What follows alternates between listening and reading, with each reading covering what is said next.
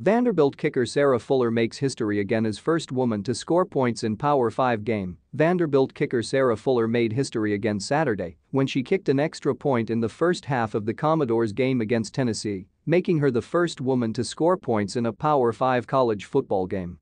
Fuller, a starting goalkeeper on the Commodores SEC Championship women's soccer team, joined the football program late last month amid COVID-19 issues and became the first woman to play in a Power 5 game by kicking the ball off on November 28 against Missouri. I just want to tell all the girls out there that you can do anything you set your mind to. You really can. If you have that mentality all the way through, you can do big things, Fuller said after the first game she played against Mizzou.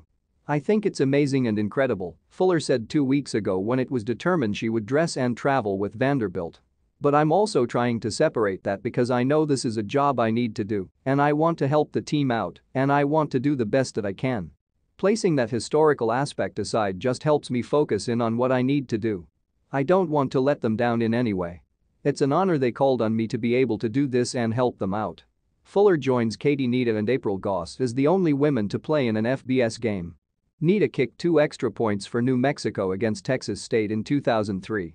She transferred to New Mexico from Colorado, where she did dress out but did not play in a game for the Buffaloes. Goss, who played at Kent State, kicked an extra point against Delaware State in 2015.